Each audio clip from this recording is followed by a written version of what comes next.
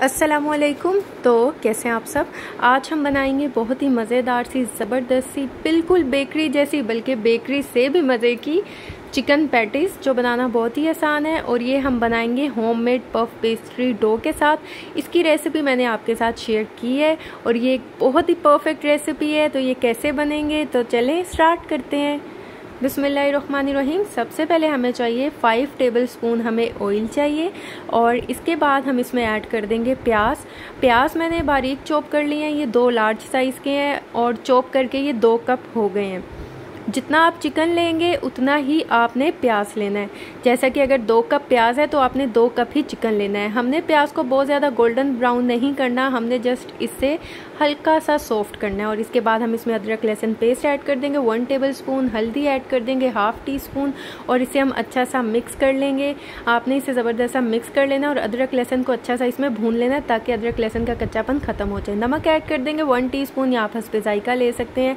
लाल मिर्च का powder add कर देंगे वन टी स्पून आप ये भी हंसपे जायका ले सकते हैं, कम या ज़्यादा। ज़ीरा पाउडर ऐड कर देंगे वन टेबल स्पून मैं यहाँ धनिया और ज़ीरा को मोटा मोटा सा पीस के ऐड करी हूँ। आप चाहें तो आप इसमें पाउडर भी ऐड कर सकते हैं। वन वन टेबल स्पून मैं ये दोनों ऐड कर दूँगी और इसके बाद हम इसमें ऐड कर देंगे काली मिर्च का पाउडर डेढ़ टी स्पून हम इसमें ऐड कर देंगे। या आप अपने टेस्ट के अकॉर्डिंग कमियाँ ज़्यादा कर सकते हैं। इसके बाद हम इसे एक बार अच्छा सा मिक्स कर लेंगे और भून लेंगे अच्छा सा और इसके बाद हम इसमें ऐड कर देंगे सब्ज़ मिर्च का paste two tablespoon add करूँगी। ये जो सब्स मिर्चें थी, हरी मिर्चें थी, ये बहुत तेज़ थी, इसलिए मैंने इसमें कम ऐड की हैं। आप जो है, अगर ज़्यादा स्पाइसी बनाना चाहते हैं तो आप इसको कम ज़्यादा कर सकते हैं, जैसे आपको पसंद है टेस्ट के अकॉर्डिंग आप इसे कर सकते हैं। और अब हम मसालों की अच्छी सी भुनाई कर लेंगे, ताकि मसाले जो हैं वो अच्छे से भुन जाएँ। हम इसमें ज़बरदस्त इसकी भुनाई करेंगे और इसे मिक्स करते जाएँगे। जब ये अच्छे से भुन जाएँगे, फिर हम इसमें ऐड कर देंगे चिकन जिसको मैंने बॉयल कर लिया था और इसे श्रेड कर लिया था। चिकन को बॉईल करते वक्त अगर आप इसमें दो काली बड़ी इलायची और दो छोटी दालचीनी की स्टिक्स ऐड कर दे तो चिकन की स्मेल आपको बिल्कुल नहीं आएगी।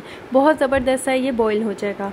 और दो कप ही मैंने श्रेडेड चिकन लिया है और दो कप ही इसमें प्याज ऐड किया है। इस बात का ख्याल रखिएगा, जितना चिकन होगा, उतना ही आपने इसमें प्याज ऐड करना है। इसके बाद हम इसे अच्छा सा मिक्स कर लेंगे और हमने इसे कुक करना है एक से दो मिनट के लिए। मीडियम फ्लेम पर ही हमने इसे कुक कर लेना है। एक से दो मिनट के बाद ये देखिए, हमने ज़बरदस्त सा इसे कुक किया अच्छा सा इसे भून लिया है। यहाँ पर हमें चाहिए दूध, एक कप हमें दूध चाहिए और इसमें हम कॉर्नफ्लोर ऐड कर देंगे वन टेबल स्पून और इसे हम अच्छा सा मिक्स कर देंगे।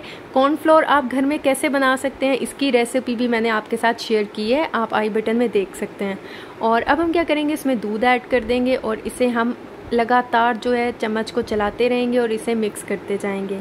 तब तक करेंगे, जब तक के ये अच्छा सा थिक ना हो जाए और दूध अच्छा सा ड्राई ना हो जाए। तब तक हम इसे मिक्स भी करते जाएँगे और इसे कुक भी करते जाएँगे। और अगर अभी तक आपने मेरे चैनल को सब्सक्राइब नहीं किया तो मेरे चैनल को सब्सक्राइब कर दें, वीडियोस को लाइक कर दें और साथ में लगे बेल आइकन के बटन को ज़रूर प्रेस कर दें ताकि आपको मेरी हर आने वाली न्यू वीडियो का नोटिफिकेशन सबसे पहले मिल सके। और ये देखें, ये कुक हो चुका है, हम फ्लेम को ऑफ़ करके इसे साइड पर रख देंगे। यहाँ पर मैं खुश्क मैदा डस्ट कर दूँगी और यहाँ पर पफ पेस्ट्री की डो है, इसकी रेसिपी भी मैंने आपके साथ शेयर की है, आप आई बटन में देख सकते हैं। और माशाल्लाह इसकी लेयर्स भी आप देख सकते हैं, कितनी ज़बरदस्त बनी है। अब मैं इसके ऊपर भी खुश्क मैदा डस्ट कर दूँगी और थोड़ा सा इसको मैं प्रेस करूँगी ऊपर से और इसके बाद जो है मैं इसे अच्छा सा बेल लूँगी।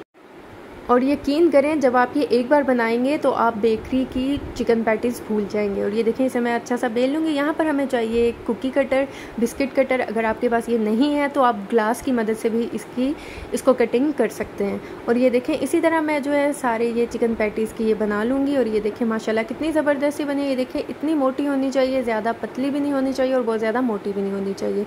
और इसको मैं साइड पर रख लूँगी। और अब आप सोच रहे होंगे, क्या ये डोज़ाया जाएगी? बिल्कुल नहीं। हम इसको इस तरह फोल्ड करते जाएँगे और ये देखें आपने इसी तरह इसको फोल्ड करना है और इसके बाद आप दोबारा से इसे बेल के दोबारा से आप चिकन पैटीज इस, इसकी बना सकते हैं। आपकी ये डो बिल्कुल ज़ाया नहीं जाएगी आप इसका एक छोटा सा पीस भी ज़ाया ना कीजिएगा। यहाँ पर एक अंडा लेंगे और ब्रश की मदद से एक फेंटे हुए अंडे को हम इसके ऊपर ब्रश कर देंगे और इसके बाद जो है मैं थ्री लेयर्स की बना रही हूँ। आप चाहें तो आप इसे टू लेयर्स की भी बना सकते हैं। अब यहाँ पर हम एक और रखेंगे डो और इसके बाद हम यहाँ पर जो हमने चिकन फिलिंग बनाई है चिकन स्टफिंग बनाई है, वो इसके ऊपर रख देंगे। इसके बाद जो है, इसके ऊपर हम दोबारा से जो इसकी लेयर है, वो इसके ऊपर रख देंगे। इसी तरह जो है मैं इसको भी इसी तरह बना लूँगी। इसके ऊपर पहले मैंने एक इसकी ये चिकन पैटी की लेयर लगाई है फिर इसके ऊपर मैंने स्टफिंग रखी है फिर इसके ऊपर रख देंगे। इसके बाद हम हल्का सा इसको प्रेस कर देंगे। इस बात का ख्याल रखिए, आप जिस चीज़ से भी इसे प्रेस करें, वो बहुत ज़्यादा तेज़ नहीं होनी चाहिए। उससे क्या होगा, आपकी डो जो है वो कट सकती है। और इसके बाद दोबारा से हम अंडा ऊपर लगा देंगे और इसे अवन में बेक करेंगे। 180 डिग्री पे प्री हीटेड अवन में करेंगे 40 टू 45 मिनट के लिए। अब मैं इसे बेक होने के लिए रख दूँगी।